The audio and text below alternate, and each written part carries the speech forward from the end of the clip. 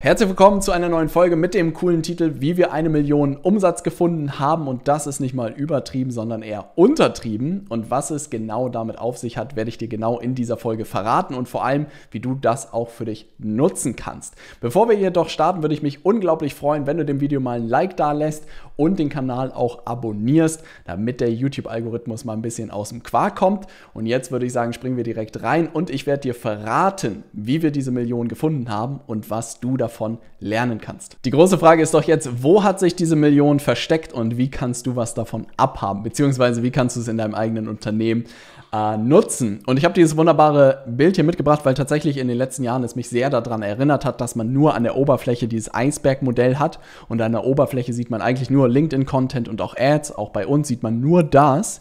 Aber was alles dazugehört, um wirklich darüber Leads, Kunden und Anfragen zu bekommen, ist natürlich deutlich mehr als nur diese zwei Bausteine. Ne? Und das ist tatsächlich etwas, wo ich heute mit dir reinspringe und mal wirklich den Vorhang aufmache und dir ganz genau zeige, was wir alles gemacht haben, um Leute konvertiert zu bekommen, was alles nicht auf der Plattform ist. Das bedeutet, das eigentliche Geschäft und das eigentliche Konvertieren von Interessenten findet nicht auf LinkedIn statt. Ich glaube, das ist so ein bisschen die Überschrift und ich glaube, das ist auch das, was du verstehen solltest. Wir kriegen auf LinkedIn super gut Aufmerksamkeit unserer Zielgruppe hin. Die Konvertierung findet aber woanders statt. Und wenn du gut aufgepasst hast, kannst du dir vielleicht denken, welcher eine Kanal wirklich zu über einer Million in den letzten Jahren geführt hat. Als jemand, der natürlich in den letzten Folgen mit dabei war, kann er sich denken, und zwar das wunderbare Thema Thema E-Mail-Marketing. Und ich muss vorweg schicken, ich rede hier nicht von einem äh, stiefmütterlichen äh, Newsletter, den man rausschickt. Das habe ich tatsächlich am Anfang auch verdammt lange gemacht. Nette Bilderchen, kleine Stories, vielleicht mal ein YouTube-Video. Und das war es dann auch. Natürlich habe ich darüber nie einen Termin bekommen, nie eine Anfrage bekommen und schon gar nicht einen Kunden gewonnen. Aber irgendwie wurde mir erzählt, das muss man machen, man braucht eine E-Mail-Liste. Bis ich irgendwann da mal eingetaucht bin, mir gefühlt jeden E-Mail-Marketing-Kurs gekauft habe, den es da draußen gibt und angefangen habe, dieses System zu implementieren. Und ich zeige dir mal ganz genau, was wir tun. Im letzten Video habe ich dir ja unseren Vortragsfunnel sozusagen gezeigt. Das bedeutet, die Leute kommen über eine Landingpage rein, gucken sich dann unser Training an und buchen sich dann bestenfalls sozusagen ein Telefonat mit uns und wollen loslegen. Fakt ist aber, dass viele Leute das nicht tun. Ja, also man kann sich auch so merken, dass ungefähr 5% der Leute sich dein Training angucken und direkt sozusagen Termin buchen. Und das passiert ja hier wirklich innerhalb von 24 Stunden. Ne? Also, wenn überhaupt. Jemand kommt rein, guckt sich's an, perfekt.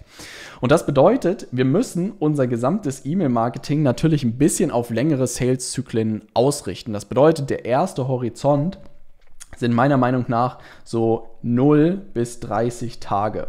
Ja.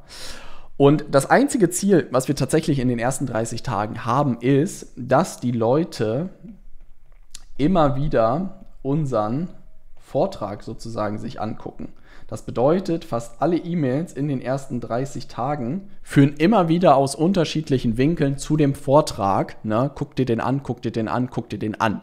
Weil tatsächlich viele Leute, die sich eintragen, gucken sich das Ding nie an. Ne? Wie häufig hast du es, wo du dich irgendwo eingetragen hast und dann nie reingeguckt hast? Ne? Und das bedeutet, das ist eine Erinnerung. Und ich rede hier von in diesen 30 Tagen nicht, dass man die Leute jetzt irgendwie bombardieren sollte. Du hast vielleicht zwei E-Mails pro Woche. Ne? Das heißt, du hast ungefähr so sechs bis acht E-Mails.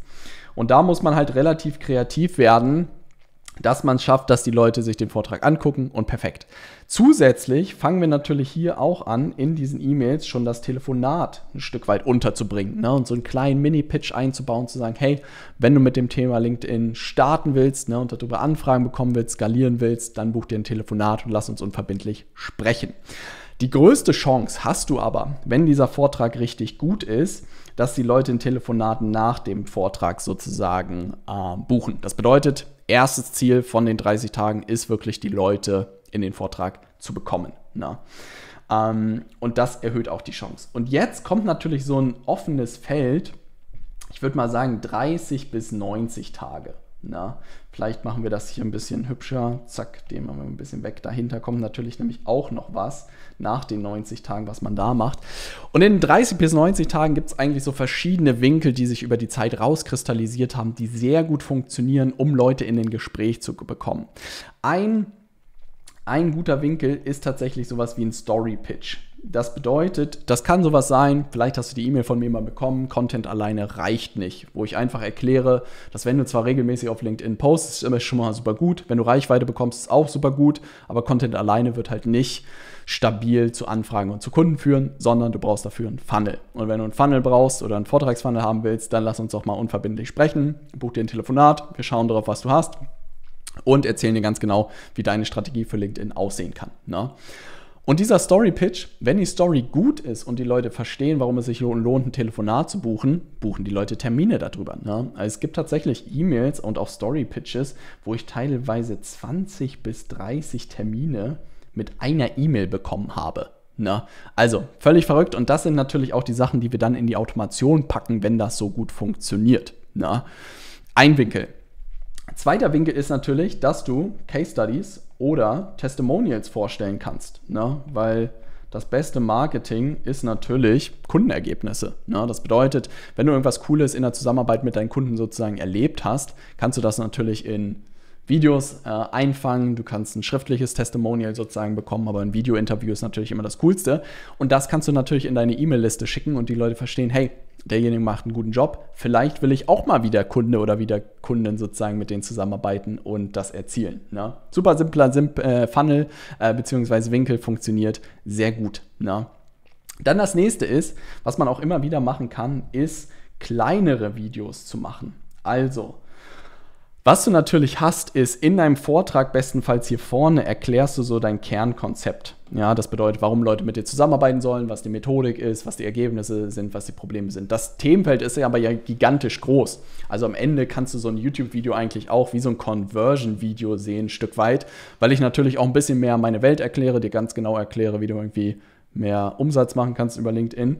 Und das bedeutet, so ein Conversion-Video Vielleicht ist Conversion Video das falsch, der falsche Begriff. Ich glaube eher, ich würde sowas wie Value Video sagen, wo man irgendwie so, was weiß ich, fünf bis zehn Minuten Mehrwert gibt ne, und die Leute nochmal so Gespür für dich bekommen, verstehen, was du ganz genau tust und du am Ende natürlich sagen, hey, wenn das heute cool für dich war, na, dann buch dir doch gerne mal einen Termin, lass uns doch mal sprechen und gucken, wie das Ganze vielleicht auch für dich funktionieren kann. Na, auch das hat in der Vergangenheit verdammt gut funktioniert. Wenn ich da gute Videos gemacht habe, haben sich Leute gemeldet. Wenn ich keine guten gemacht habe, hat sich keiner gemeldet. Dann eine coole Sache, und das tatsächlich etwas, was man auch vielleicht für andere Bereiche adaptieren kann. Bin ich irgendwann drauf gekommen, im E-Commerce-Bereich gibt es so Flash-Sales. Das bedeutet, einmal pro Monat oder keine Ahnung, in irgendeinem Tunus kann man für 24 Stunden irgendwas günstiger kaufen. Und das habe ich irgendwann auch eingeführt für unseren kleinen Accelerator. Also wenn du unseren Accelerator-Kurs noch nicht hast, kauf dir das Ding. Ja? Bester LinkedIn-Kurs, den es auf dem Markt gibt. Und da habe ich zum Beispiel auch so Sachen gemacht, dass ich den, mh, hm, alle Leute, die innerhalb von 24 Stunden buchen, kriegen eine Profilanalyse von uns kostenfrei dazu. Ne? Oder zum Beispiel so ein Black Friday Sale haben wir auch gemacht. Und das hat teilweise innerhalb von 24 Stunden wirklich zu 50 plus Verkäufen geführt. Ne?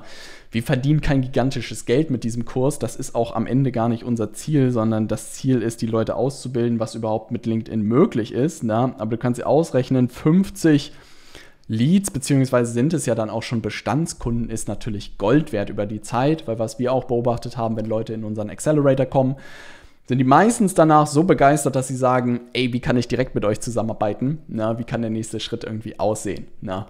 Und insofern ist so ein Flash-Sale auch am Ende Gold wert.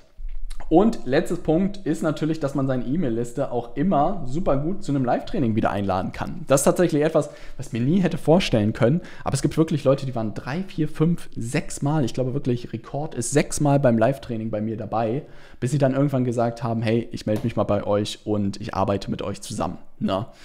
Und das Coole ist an diesen Live-Trainings, dass man halt den Leuten immer wieder einen Aufhänger gibt, einfach immer wieder euch zu erleben, immer mehr Vertrauen aufzubauen, vielleicht nochmal eine Frage zu stellen, die irgendwie im Kopf ist, die ihr heute noch nicht beantwortet habt und dass sie dann am Ende sagen, ja, ich arbeite dann am Ende mit euch zusammen. Ne?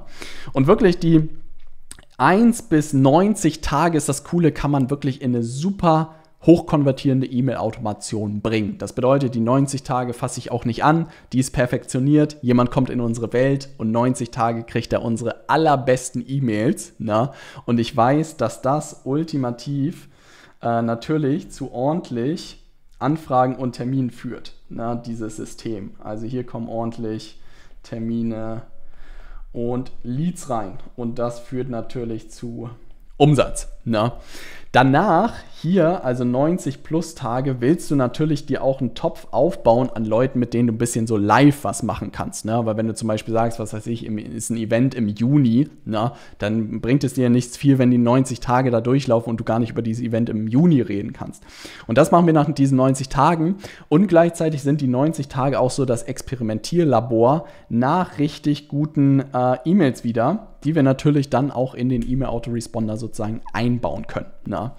Und dieses System hat wirklich, bin heilfroh, seit über fünf Jahren eine E-Mail-Liste zu haben und die immer fleißig gefüttert zu haben hat locker über eine Million gebracht, weil einfach das große Thema im B2B-Bereich ist, was ich dir hier noch mitgeben will. Du hast viele Leute, die sich eher hier hinten nach 30, 180, 365 Tagen bei dir melden und sich für eine Zusammenarbeit äh, entscheiden. Und ich würde sagen, das sind sogar wirklich 50-50. 50% hast du hier, 50% hast du hier. Und wenn du das nicht richtig da rechts bespielst, lässt du halt wirklich auch verdammt viel Umsatz liegen. In unserem Fall wäre es auf jeden Fall über eine Million gewesen, was wir hätten liegen lassen, hätten wir das nicht von Tag 1 wirklich richtig implementiert. Na.